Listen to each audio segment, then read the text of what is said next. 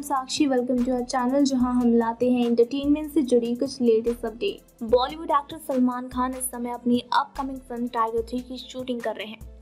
सलमान खान रूस में अपनी को स्टार कटरीना कैफ के साथ फ़िल्म के कुछ एक्शन सीक्वेंस शूट कर रहे हैं। बीते हफ़्ते ही सलमान खान ने रूस के लिए उड़ान भरी थी।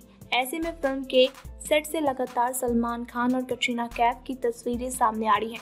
इन तस्वीरों में दोनों सितारे अपने फैंस के साथ पोज देते नज़र आ रहे हैं। इसी बीच सलमान खान ने एक तस्वीर शेयर करके सनसनी मचा दी है। इस तस्वीर में सलमान खान, भतीजे निर्वाण खान के साथ रूस की सड़कों पर टहलते नज़र आ रहे हैं। कुछ समय पहले ही सलमान खान ने इंस्टाग्राम पर यह तस्वीर शेयर की है। इन तस्वीर को शेयर करते हुए सलमान खान ने लिखा है, चाचा भतीजा। तस्वीर को देखकर फैंस क्यास लगाने लगे हैं कि सलमान खान की ये तस्वीर रूस की है। हालाँकि सलमान खान ने तस्वीर की लोकेशन के बारे में कुछ नहीं लिखा है।